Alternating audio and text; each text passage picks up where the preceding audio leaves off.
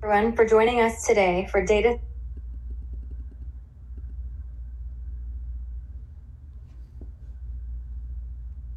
everyone for joining us today for Data Theorem's webinar series. Today, our topic will be how to leverage iOS 13 for app security. Now, before we get started, I just want to provide a little bit of background on who Data Theorem is. Company was founded in 2013 in the heart of Silicon Valley, and we're headquartered in Palo Alto, California, with offices in Paris and in New York. Our executive team has over 15 years in the cybersecurity industry, which has led to us led us to have a great deal of success and given us the chance and privilege to work with many great customers as you can see here today. Now, before I hand over to our speaker today, I just want to mention that we will reserve time at the end of the presentation for Q&A. So if you have questions during the presentation, please put those in the Q&A panel. With that, I will turn it over to Philip Tennen, our iOS security engineer at Data Theorem. Thanks, Felicia. So, as we mentioned, today I'm going to be talking about um, some of what's new and what's changing uh, in iOS 13 as far as app security goes.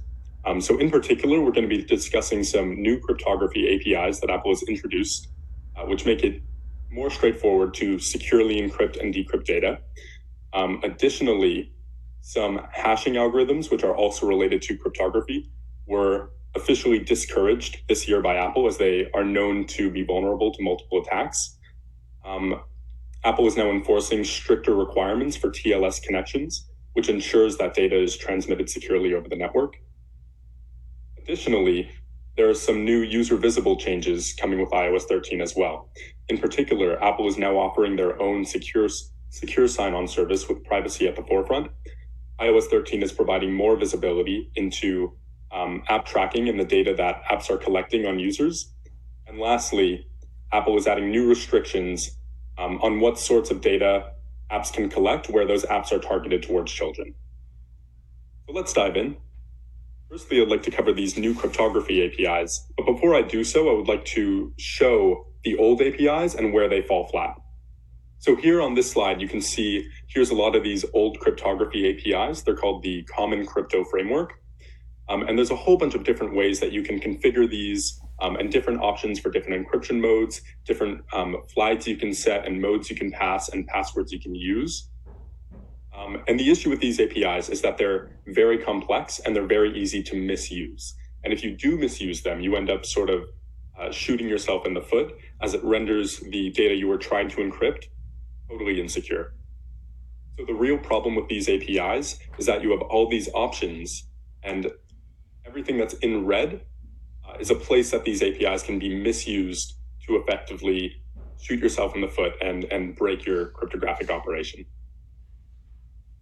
So to look at one of these more in depth, if we just pick a random one of these common crypto functions, um, every argument that I've circled here uh, is a place that a developer can make a mistake um, and you know, encrypt something insecurely.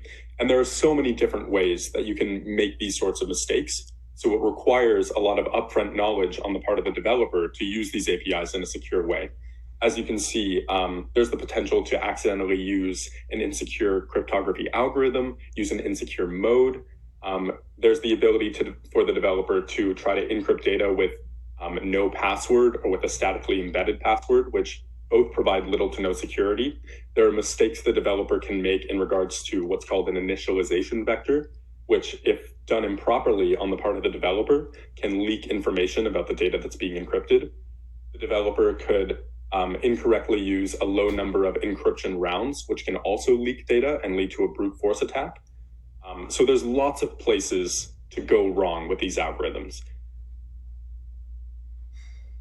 So the problems with the old cryptography APIs is that there are lots of different ways to get it wrong and to make your crypto code insecure. Additionally, these, these APIs require a deep understanding of cryptography to use correctly. Um, developers need to understand uh, the characteristics of initialization vectors. They need to know which cryptography algorithms are secure versus insecure. Um, they need to manage their own keys and embed keys in a way that's secure. Um, there's a whole whole gluttony of knowledge that developers need to know to use these APIs well. And unfortunately, uh, the internet and Stack Overflow are littered with insecure example answers. So if I, as a developer, um, don't know a lot about cryptography and I just need to encrypt some data, the first thing I'm going to do is to Google it and maybe copy and paste some code from Stack Overflow. And with these APIs, since they're so difficult to use securely, that code that I'm going to have copied um, is very likely going to introduce vulnerabilities into my application. And here at Data Theorem, we actually observe uh, real world apps getting these wrong all the time. And we frequently have to inform customers about these issues in their cryptography code. Here's an example that I found on Stack Overflow. This is someone asking how to use these common crypto functions to encrypt uh, some piece of data. Um, and there's this, this sample answer with, you know, a thousand plus upvotes. And there are so many problems just in this little snippet of code. Just listing them off, um, this example statically embeds an encryption key, meaning that if I have access to the app package, I can, it's trivial for me to pull out this key and then be able to decrypt any data that you've encrypted. So this, this totally breaks your encryption. Um, additionally, this code snippet uses the RC4 encryption algorithm, which is long known to be unsafe and should not be used. It uses an insecure ECB mode, which is also unsafe. Um, and it uses a null initialization vector, which um, isn't quite as bad as statically embedding an encryption key, but um, an attacker could, for example, see when the same data is encrypted multiple times um, if you don't use a strong initialization vector. So all of these things work in tandem to leak information, to break encryption, um, and it's all due to um, a really difficult way to use these APIs in, in a secure way. So the question is, is there a better way to do this? Can we design some API that um, allows us to securely encrypt data by default? And of course, the answer is yes. Uh, with iOS 13, Apple has introduced this new framework called CryptoKit, which makes it really easy and straightforward to encrypt data securely. So, in comparison to the old CryptoKit APIs, um, excuse me, in comparison to the old Common Crypto APIs, CryptoKit makes it nice and easy um, and straightforward to encrypt data. So you can see in this code snippet, um, essentially what's happening here. The details don't matter so much, but the idea is um, I'm asking for a private encryption key, um, and then I just ask it to sign some data with it. Just two steps: get an encryption key and use it to encrypt data. There's no setup or you know configuration to do. Um, it just makes sense. Additionally, the new CryptoKit API leverages a chip on the device called the Secure Enclave, which manages the private encryption keys for you. So the developer no longer needs to know anything about what encryption keys they're using or how to store them securely. It's all managed by the system. So the, the, the primary benefit of this new API is that it's safe by default. Instead of developers needing to know and understand these complex cryptography algorithms, they can just use this, you know, sort of obvious out of the box API, um, and everything will work. So just as a point of comparison, um, on the left, here's some code that I took from a blog post called Properly Encrypting with AES with Common Crypto versus the code on the right, which is essentially the equivalent operation with CryptoKit. So these two pieces of code do the same thing. They securely encrypt a piece of data, um, but there's just so much less room to mess up essentially with the CryptoKit example. Um, and it's a lot easier to see what's going on. There's less room for error. So these, uh, these new APIs are, are really awesome. Additionally, as I mentioned, this new CryptoKit API, um, the encryption keys are created and managed by this special chip on the device called the Secure Enclave. So this Secure Enclave, um, it's a dedicated um, hardware cryptography chip, which has never been compromised. Um, historically, it's been for Apple only use. And this is what Apple internally uses to secure Face ID, um, the iOS file system, any user data that's on the device, all of their messages and photos are encrypted using this mechanism. So with iOS 13 and the new CryptoKit APIs, um, when you use this API, you're essentially getting the same level of security that Apple is using internally for all of the user data throughout iOS, including things like the keychain with extremely sensitive data and passwords. Um, additionally, something we see often is developers, for example, hard coding their encryption passwords. And with CryptoKit and Secure Enclave, um, this burden has been removed. Developers don't need to interact with crypto- cryptographic keys whatsoever. They just ask the Secure Enclave, hey, create an encryption key, sign this data with it, and the developer never sees or interacts with the cryptographic key directly at all. In fact, it's actually impossible to extract or export these uh, encryption keys from the secure enclave. So it's guaranteed that um, there's essentially no way to leak these keys. Um, so similarly to statically embedding some passwords in source code, these older common crypto APIs may tempt developers to statically embed uh, their encryption parameters. Um, and unfortunately, these would be constant for every user on every device configuration. But by using these new APIs and the secure enclave, uh, Apple is guaranteeing a unique per device password, per device password, which is not, which is not only um, inaccessible to the application or the developer, but it also never leaves the device. So another change that Apple made this year is they have um, officially discouraged the use of some hashing algorithms, which um, have been proven to be insecure. But before I jump into that, I thought it might be helpful to just give a quick overview of what a hashing algorithm is. So, to put it simply, the purpose of a hashing algorithm is to take some input data, such as a password, and to map it to some output data which um, looks unique and doesn't really tell me anything about what the input data was. So, one really common use of something like a hash algorithm is say that I had some sort of web service where I want the user to type in a password. Now, because I don't want to be storing user passwords directly, um, I can use what's called a hashing algorithm. So the user types in a password, I put it through my hashing algorithm, and I get some output string. And this is what I store. So what happens is when someone goes to log in and they type in a password, I don't check if what they typed in matches some password that I have on file. Instead, I hash whatever they typed in and I check if it matches the hash of the password I have on file. This way, if my service is ever compromised, for example, you can't retrieve users' passwords, you can only retrieve the hashes of them. And hashing algorithms typically have this really nice property where if I change the input even very slightly, like for example, my password 123 to my password 456, um, the hash changes drastically. So it's difficult for someone, given only the hashes, to figure out what this input data was. So now, what are the problems that a hashing algorithm can have?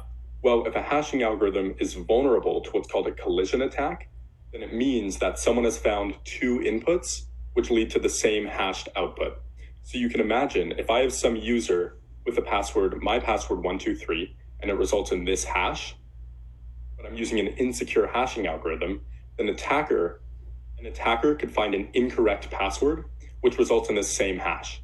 And the result of this is they would be able to log into this service and authenticate as this user, even without knowing the user's password.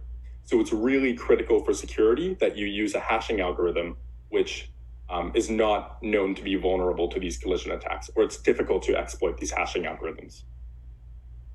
So some really common hashing algorithms are MD5 and SHA-1, and unfortunately, these are now well known to be vulnerable to these sorts of attacks. So MD5 has been long known to be insecure for years, uh, and much more recently, in 2017, Google proved that SHA-1 is vulnerable as well. Both of these um, types of hashing are, are vulnerable, vulnerable to an attack uh, where you could craft an input message, which is not the same as the original data, but results in the same hash. So I have a similar graphic over here. I have a, I have a safe document which goes through SHA-1, uh, and it results in this hash. And then I have an attacker's document which goes through the same SHA-1 algorithm. And instead of resulting in a, in a different unique hash because it's not the same input, I get the same hash back out, which could allow an attacker to do any sort of thing. So this year with iOS 13, Apple has now declared that MD5 and SHA-1 are unsuitable for any secure application um, there were two common crypto functions which allow developers to utilize these hashing algorithms. They're called CCMD5 and CC SHA1, and they've now been deprecated in the iOS 13 SDK. Additionally, with iOS 13, uh, Apple is now requiring stronger cipher suites and TLS connections. So what this means is if you make a network request in your app, there's now um, a minimum set of requirements for the cryptography used by the connection. So in particular, Apple is now requiring with iOS 13 that if the TLS cipher suite is using an RSA cipher, it must offer at least 2048 bits of security. And additionally, um, the hashing algorithm must be SHA-2 or stronger. SHA-1 is now disallowed. So what's going to happen is that with iOS 13, if you try to connect to a network within the application, which doesn't meet these new requirements, the system will drop the request without, without connecting to the server. So be sure to upgrade your servers to meet these new minimum requirements so that client apps can continue connecting to them. Additionally, Apple previously offered um, a framework called Security, which allowed developers to, manip- to manipulate lots of low level functionality and configurations with TLS connections. Uh, Apple is now saying with iOS 13 that you should no longer be using these APIs. Instead, they've introduced a new framework called the Network Framework, which is sort of a, uh, a modern re implementation um, on this API. So if you do need fine grained control over TLS connections, you should be migrating to this new network framework.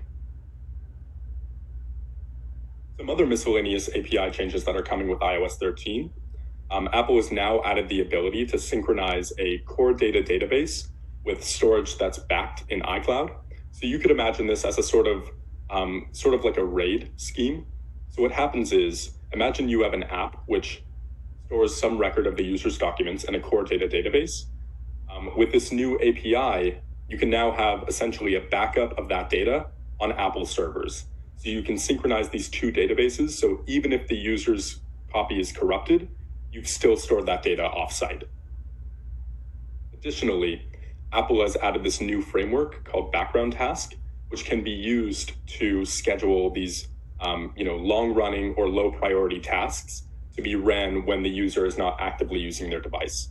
So an example of this might be um, if you need to train a machine learning model or if you need to index some database, you can now schedule these to happen, for example, when the phone is in the user's pocket rather than when they're trying to do intense work uh, on their device. Lastly, Apple has now added the ability to read and write uh, real world NFC tags utilizing the, uh, the iOS device's NFC chip there's a new framework for that as well. Okay, so let's move into the, the user visible changes landing with iOS 13. So firstly, Apple is providing their own new privacy conscious secure sign-on service. So this is a competitor to, uh, for example, Google and Facebook's SSO. And Google and Facebook's single sign-on services are notorious for utilizing this scheme to collect more user data and track um, the sites that you visit across the internet. Apple's SSO service is sort of a rebuttal to this. They've said that um, privacy is the main focus. Um, and in fact, if a user uses sign in with Apple to sign into your application, the user has uh, really fine grained control over what data the application is allowed to access. Specifically, an app only receives the user's name, um, an email address, and some unique identifier that the app can correlate to track um, users internally. One really nice feature that this has is that Apple has first party support for proxying the email address. So if I, as a user, don't trust some service and don't want to reveal my primary email address to them, Apple's SSO service um, makes it really easy for me to provide sort of a fake email that will forward everything to my real inbox. So they're doing really nice things with, with user privacy. Additionally, sign in with Apple integrates very nicely into the system. In particular, there's built-in biometric two-factor authentication via Touch ID or Face ID, um, and it integrates with iCloud Keychain and syncs across the user's devices. Lastly, if the user so chooses, they can also change the name that the app receives. So if I don't want to reveal my identity whatsoever to an app, uh, I can make that choice. Apple is saying that if the app offers any other single sign on services like Google or Facebook SSO, then it will be required um, for the app to support sign in with Apple. It's unclear how strictly this will be enforced. Um, so we're going to have to watch what Apple does over the next few months. Additionally, Apple's design guidelines state that the sign in with Apple button must be placed at the top of the single sign on button list. Uh, but again, we're going to have to see how strongly they enforce this rule. Okay, so moving on iOS 13 has also added new controls and visibility uh, into what apps are doing with their data. So one common behavior of apps is to request a location or a Bluetooth permission for some, you know, legitimate reason. Um, and then they constantly access this data in the background to build up a profile of users of where they go, of what they're doing. Uh, and most of the time, the user is not aware of this whatsoever. It's done by the app surreptitiously in the background without user consent. So iOS 13 is really cracking down on this, and it's sort of alerting users to when apps are doing this. Um, so there are three APIs that are, now have stronger um, privacy restrictions and controls with iOS 13. They are the location services APIs, the Wi-Fi APIs, and the Bluetooth APIs. So what exactly happens is if an app requests location, and iOS notices that it's been accessing the user's location frequently in the background, it'll periodically um, alert the user, show them what the app has been collecting, and prompt them if they want to continue allowing it. So it's a really nice improvement for, for user privacy. Additionally, um, Apple now has stronger requirements on the Bluetooth APIs. Specifically, if the app accesses Bluetooth at all, um, they must now specify so in the app's uh, manifest file. Um, so there's this NS Bluetooth always usage description that if the app is accessing Bluetooth, you must declare it in the app manifest uh, and give a justification for why that is. We've already seen so far apps are now being rejected by Apple for not declaring this usage of, of the Bluetooth APIs. So it's critical for any application that's accessing Bluetooth for any reason um, to start declaring this and uh, explaining their justification to users. Lastly, these APIs that allow the developer to um, pull info about the user's current cellular carrier now have additional restrictions. So what happens is um, if the app doesn't have certain permissions, specifically either the location permission or um, other special permissions that are used for this API, Um, these APIs to ask about the user's cellular carrier don't return any meaningful data. So you're not you're no longer allowed to pull data about the user's network carrier unless these certain requirements are met that sort of equate to the user opting in. Lastly, Apple has introduced new restrictions on third-party tracking within kids apps. So what Apple is saying is that with iOS 13, if your app is marketed towards kids, it's no longer allowed to contain uh, any third-party ads or analytics SDKs. Uh, this is cracking down on, you know, trying to track kids um, maybe push in-app purchases on them, etc. So it's a it's a nice move on Apple's part. Of course, some apps, some free apps in particular, do rely on ads uh, as their business model to sustain the app. Um, and there's been some pushback on Apple for this. So what they've said over the past few days is that they are going to delay this decision and rework the guidelines for what this means exactly. So we'll be watching this space um, to see what Apple says the, the real new requirements are. So in summary, with iOS 13, Apple has introduced um, new encryption APIs, which make code more secure by default and make it easier to securely encrypt data. Apple has um, explicitly discouraged these vulnerable hashing algorithms. They've introduced stricter requirements for network connections. They've added new capabilities for developers to refactor their applications, make them more resilient to data loss, to improve their apps. Um, they've added a new single sign on service um, which protects user privacy. Um, and they've provided more visibility and rules around um, tracking users. That's all I had. Thank you. Great. So with that, we'll give everyone a moment to go ahead and put their questions in the Q&A panel. Um, and then we'll go ahead and start taking some of these. So uh, Philip, the first one is, are the old crypto APIs still available? Yeah, it's a good question. So I understand, you know, these APIs, these old common crypto APIs are used widely throughout real world code. And it's a, a difficult sell to drop everything overnight and migrate to these new APIs. So these old crypto APIs are still available. They're not actually deprecated by Apple yet. Um, but in the developer documentation, Apple is strongly encouraging developers to move to these new secure APIs as soon as possible. Great. Uh, next one. Can I opt out of these new TLS requirements? Yes. So Apple does provide a mechanism to, if for whatever reason your server um, can't support a secure connection, can't support HTTPS uh, or what have you, they provide this mechanism called um, app transport security exceptions, which allow you to define rules for uh, which domains you want to essentially whitelist. Um, that said, it's sort of viewed as a as a bit of a hack. Um, generally, you want all the networks that your app connects to to be um, secure and to use secure network connections. So the ideal case um, is to update the servers to support these new requirements um, but in the meantime, you are able to declare to iOS, hey, I know this server to be insecure for whatever reason. Allow my app to connect to it anyways because I control it.